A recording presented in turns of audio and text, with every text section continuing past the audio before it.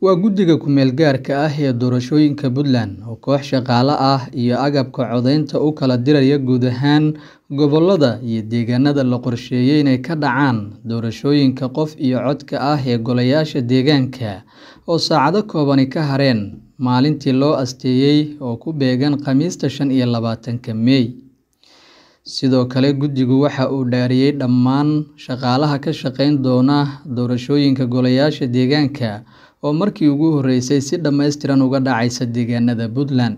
Waxaan ku dhaaranayaa magaca ilaahay. Waxaan ku dhaaranayaa magaca ilaahay. In aan ku dhaqmo diinta islaamka. In aan ku dhaqmo diinta islaamka.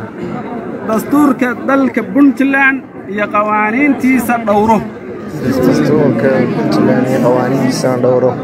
doorashooyinkan oo ah kuwo ay si weyn indhaha ugu hayaan inta badan dadka soomaaliyeed ayaa waxaa ka qaybgelaya oo ay shacabku kala dooranayaan. Shan urur siyaasadeed oo mid ka mid ah uu hogaamiyo madaxweynaha maamulkaasi siciid cabdulaahi deni oo maalmihii iyo toddobaadyadii la soo dhaafay ololo xoogan ka waday qaar ka mid ah gobollada iyo degmooyinka maamulkaasi madaxda ugu sarreysa dowladda federaalk ah ee soomaaliya oo horey uga hadlay doorashooyinkan ayaa ka digay in puntland laga qabto doorashooyin aysan dadku isku raacsanayn oo sida ay tilmaameen sababi kara in uu burburo maamulka ugu da-da weyn maamul goboleedyada soomaaliya.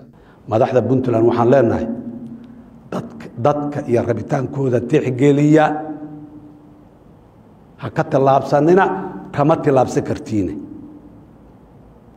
odayaasha dhaqanka siyaasiyiinta iyo shacabka reer puntlandna waxaan leeyahay labaatan iyo afar sano wakhti dhow ma ah maanta meesha aad joogtaan afar iyo labaatan sano ayaad ku soo gaarteen. Laakiin waxaa suurtagal ah afar iyo labaatan maalmood ka yar inaad ku dumisaan.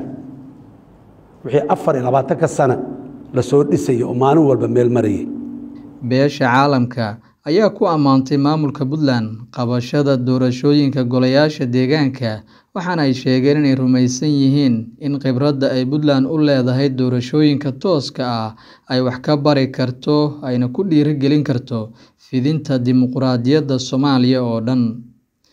Madaxweynihii hore ee soomaaliya maxamed cabdulaahi farmaajo ayaa sidoo kalena reer puntland iyo bulshada maamulkaasi ku bogaadiyey sida ay ugu istaageen hirgelinta doorashooyinka golayaasha deegaanka ee dadku codkooda ay ku dooranayaan hoggaanka deegaanadooda.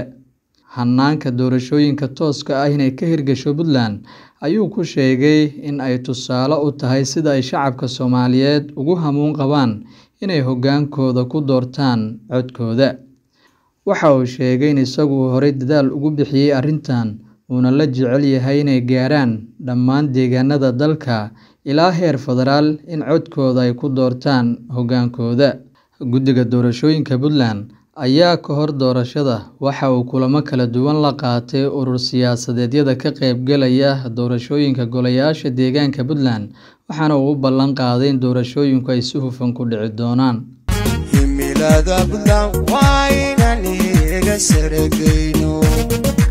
Maxamed cabdulaahi baxnaaniya c b a muqdisho